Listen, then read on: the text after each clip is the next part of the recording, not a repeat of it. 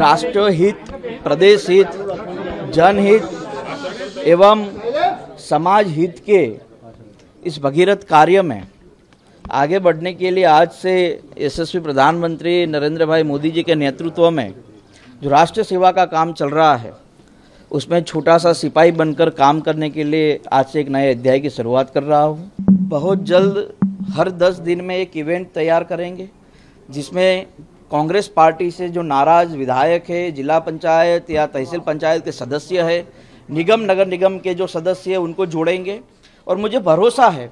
कि जिस जनता को सेवा के इस भगीरथ कार्य में जहाँ कांग्रेस पार्टी किसी भी प्रकार का काम करना नहीं चाहती, वहाँ पर मैं आपके माध्यम से, गुजरात के उन सभी दूसरे दल के नेताओं से आह्वान करता हूँ कि आइए, सब साथ मिलकर हमारे गुजरात के व्यक्ति जब देश के प्रधानमंत्री के रूप में इस राष्ट्र की सेवा में अपना कार्य अवृत आगे चला रहे हैं तो उसमें हम लोगों को जुड़ना चाहिए और मेरा यही मानना है कि सरदार वल्लभ भाई पटेल गुजरात का अभिमान थे,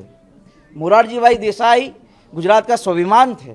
और नरेंद्र भाई सिर्फ़ गुजरात का नहीं, लेकिन संपूर्ण विश्व का गौरव है तो ऐसे समय में इस गौरव के साथ जुड़ना चाहिए।